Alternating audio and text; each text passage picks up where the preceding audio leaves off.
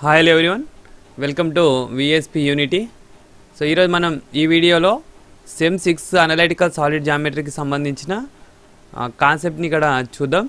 ఏముందన్నది okay so analytical solid జామెట్రీలో మనం already చాలా వీడియోస్ చేసాం సో అందులో భాగంగానే నెక్స్ట్ వీడియో ఇక్కడ చూడబోతున్నాం ఇప్పుడు. మన ఛానల్కి ఎవరైనా ఫస్ట్ టైం వచ్చిన వాళ్ళు ఉన్నట్లయితే సబ్స్క్రైబ్ చేసుకోవడం మాత్రం మర్చిపోకండి. వీడియోని ఎండ్ వరకు చూడండి. అప్పుడే మీకు మనం ఏం చెప్పినాం అన్నది అర్థమవుతుంది. ఓకేనా? సో ఈ యూనిట్ వన్కి సంబంధించిన దానిలో ఉన్నాం మనం. సో అందరూ అన్ని యూనిట్స్ తొందరగా చెప్పండి సార్ అని అడుగుతున్నారు. So it will take time అండి. టైం తీసుకుంటుంది. ఓన్లీ ఇంపార్టెంట్ క్వశ్చన్స్ని మాత్రమే ఎక్స్ప్లెయిన్ చేసే ప్రయత్నం చేశాను యూనిట్ వన్లో మాత్రం మన అన్ని యూనివర్సిటీకి సంబంధించిన రిపీటెడ్ క్వశ్చన్స్ మాత్రం చెప్తున్నాను. మనకు లెంతీగా ఉందండి యూనిట్ వన్. సో మనం అన్ని యూనిట్స్ కంప్లీట్ అయినాక main main questions important questions పైన ఫోకస్ చేద్దాం. నేను ఏవి ఇంపార్టెంట్ ఎలా చదవాలన్నది చెప్తాను. టెన్షన్ పడకండి. ఆల్రెడీ ఇంపార్టెంట్ క్వశ్చన్స్ని పోస్ట్ చేశాను. వాటిని కూడా చూసే ప్రయత్నం చేయండి. ఓకేనా సో ఇక్కడ చూడండి. Find the coordinates of the points where the line intersect the sphere అంటుండు. అంటే ఒక లైన్ అనేది స్పియర్ని ఇంటర్సెక్ట్ చేస్తే ఇది ఒక స్పియర్ అనుకున్నాం అనుకోండి. ఈ స్పియర్ని ఒక లైన్ ఇట్లా ఇంటర్సెక్ట్ చేస్తే లైన్ ఇట్లా ఇంటర్సెక్ట్ చేస్తే coordinates of the points where the line intersects the sphere అంటుండు. అంటే ఈ లైన్ అనేది ఈ స్పియర్ని ఇంటర్సెక్ట్ చేస్తుంది కదా. ఈ కోఆర్డినేట్స్ అడుగుతుండు అనమాట ఇక్కడ ఉండే ఈ కోఆర్డినేట్స్ ఇక్కడ ఒకటి ఇక్కడ ఒకటి ఉన్నాయా? ఈ కోఆర్డినేట్స్ని అడుగుతుండు. అంటే దాని అర్థం ఏంటి? ఈ లైన్ ఈక్వేషన్ ఈ స్పియర్ ఈక్వేషన్ పైన ఉంది. రైట్ అంటే ఈ లైన్ ఈక్వేషన్ని స్పియర్ ఈక్వేషన్లో సబ్స్టిట్యూట్ చేస్తే మనకు ఆన్సర్ వస్తుంది. ఓకే సో లైన్ ఈక్వేషన్ ఏమి ఇచ్చిండు సిమెట్రిక్ ఫామ్లో ఇచ్చిండు చూడండి. లైన్ ఈక్వేషన్ సో ఎట్లుంది ఆ లైన్ ఈక్వేషన్ సిమెట్రిక్ ఫామ్లో అంటే చూడండి x plus three by four is equal to y plus four by three is equal to minus of z minus eight by five అనేది ఒక స్పియర్ ఈక్వేషన్ ఇచ్చింది కదా? So ఈ స్పియర్ ఈక్వేషన్ని మనం అందులో సబ్స్టిట్యూట్ చేయాలి. చేయాలంటే ఇది చూడండి ఇక్కడ x x plus three by four చేస్తే ఒక ఆన్సర్ వస్తుంది. ఏదో ఒక ఆన్సర్ ఏ అనే ఆన్సర్ వచ్చింది ఒక ఏ అనే ఆన్సర్ వచ్చింది అనుకుందాం. సో దీనికి వచ్చే ఆన్సర్ కూడా అదే ఉండాలి. దీనికి వచ్చే ఆన్సర్ కూడా అదే ఉండాలని దీని మీనింగ్ ఈజ్ ఈక్వల్ అంటే ఏంటి? దీని ఎక్స్ వాల్యూ ఏదైతే సబ్స్టిట్యూట్ చేస్తామో మనకి ఏదైతే ఆన్సర్ వస్తుందో వై వాల్యూ సబ్స్టిట్యూట్ చేసినా అదే ఆన్సర్ రావాలి. జెడ్ వాల్యూ సబ్స్టిట్యూట్ చేసినా అదే ఆన్సర్ రావాలి. దీని మీనింగ్ అదనమాట. సో అందు గురించి మనం ఏమనుకుంటున్నామంటే x plus three by four is equal to y plus four by three is equal to minus of z minus eight by five is equal to ఏదో ఒక నెంబర్ అనుకుందాం మనకు తెలియదు కదా ఆన్సర్ని టీ అనుకుందాం. అంటే x plus three by four అనేది టీకి ఈక్వల్ అవుతుంది. Okay? Next next y plus four by three is equal to t అవుతుంది. Next minus of z minus eight by five is equal to t అవుతుంది. ఓకేనా so అంటే ఇక్కడ first equation నుంచి చూడండి x plus three is equal to ఈ tea ఇక్కడ తీసుకొని వస్తే ఫోర్ని ఫోర్ టీ అవుతుంది. Y plus four is equal to ఏమవుతుంది? త్రీ టీ అవుతుంది. సో అదేవిధంగా minus of z minus eight is equal to five t అవుతుంది. ఇక్కడ నుంచి ఏమవుతుంది? X is equal to four t plus three అవుతుంది. Sorry four t minus three అవుతుంది. ఓకేనా? ప్లస్ త్రీ ఇక్కడ వస్తే ఏమవుతుంది మైనస్ త్రీ అవుతుంది. ఇక్కడ y is equal to three t minus four అవుతుంది. ఇక్కడ z minus eight is equal to minus five t అవుతుంది. మైనస్ని ముందు తీసుకెళ్తున్నాం. తర్వాత z is equal to z is equal to minus five t minus five t plus eight అవుతుంది. So మనకు కావాల్సిన రిక్వైర్డ్ పాయింట్ ఏంటంటే x comma y comma z is equal to four t minus three three t minus four minus five t plus eight అనమాట ఇది మనకు కావాల్సిన required point ఓకేనా so ఇందులో మనం ఇప్పుడు టీ వాల్యూ ఫైండ్ అవుట్ చేస్తే మనకు వచ్చిన టీ వాల్యూని ఈ ఎక్స్వైజెడ్లో సబ్స్టిట్యూట్ చేస్తే ఏదైతే ఆన్సర్ వస్తుందో అదే మనకు కావాల్సిన required coordinates of the points where the line intersect the sphere అనమాట మరి ఆ టీ వాల్యూ ఏ విధంగా వస్తుంది? మనం ఇందాకే చెప్పినాం ఈ లైన్ అనేది స్పియర్ పైన ఉంటుంది అని. అంటే ఈ లైన్ పైన ఉన్న ఈక్వేషన్ మనకు తెలిసింది కదా ఇది? ఈ ఈక్వేషన్ని ఈ స్పియర్ ఈక్వేషన్లో సబ్స్టిట్యూట్ చేస్తే మనకు టీ వస్తుంది. అంటే the intersection of line and స్పియర్లో sphere చేస్తే మనకు టీ వాల్యూ వస్తుంది. వచ్చిన టీ వాల్యూని మళ్ళీ ఇందులోనే సబ్స్టిట్యూట్ చేస్తే మనకి ఏదైతే ఆన్సర్ వస్తుందో అదే మనకు కావాల్సిన required coordinates of the point అవుతుంది. సో దీన్ని ఇందులో సబ్స్టిట్యూట్ చేద్దాం. సో దీని ఈక్వేషన్ నెంబర్ వన్ అనుకుంటాం ఇది ఈక్వేషన్ నెంబర్ టూ అనుకుంటాం. మళ్ళీ ఆన్సర్లో రాయాలి ఇది ఓకేనా?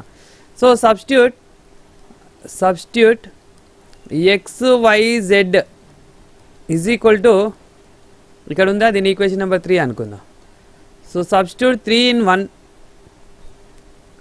okay? Substitute three in two not one substitute three in two ఈ ఈ త్రీ అనే పాయింట్ని టూ అనే ఈక్వేషన్లో సబ్స్టిట్యూట్ చేసి ఏమొస్తుంది చూడండి. Four t minus three whole square plus three t minus four whole square plus minus five t plus eight whole square plus two into four t minus three minus ten into three t minus four is equal to twenty three so దీన్ని ఇప్పుడు simplify చేస్తే మనకు tea value వస్తుందండి. ఆ వచ్చిన ఆ tea వాల్యూని తీసుకొచ్చి మళ్ళీ ఇందులోనే సబ్స్టిట్యూట్ చేస్తే మనకు ఆన్సర్ వస్తుంది. So a minus b whole square a minus b whole square అంటే?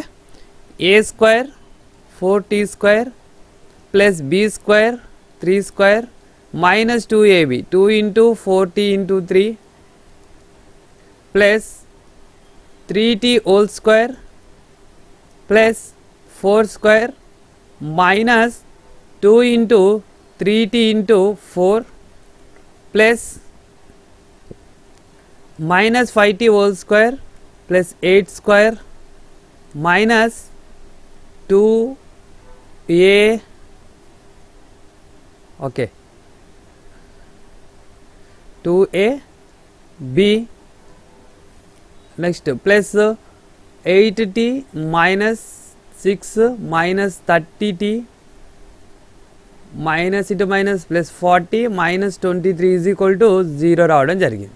ఓకేనా సో ఇప్పుడు దీన్ని సింప్లిఫై చేద్దాం. Sixteen t square sixteen t square plus nine minus ఇక్కడ చూడండి two four the eight eight three జా twenty four minus twenty four t plus nine t square plus 16 minus 2 3 is 6, 6 4 is 24, 24t plus 25t square uh, 8 square means 64 minus 2 5 is 10 10 8 is 80 80t plus eighty minus six minus thirty t plus forty minus twenty three ఇక్కడ చేసేద్దాం. Seventeen వస్తుంది.